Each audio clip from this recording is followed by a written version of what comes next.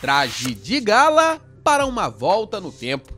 O último ato dos convocados de Tite aqui no Brasil tinha um objetivo claro: fortalecer a relação dos jogadores com a história da seleção. A visita ao Museu do Futebol buscou mesclar passado e futuro.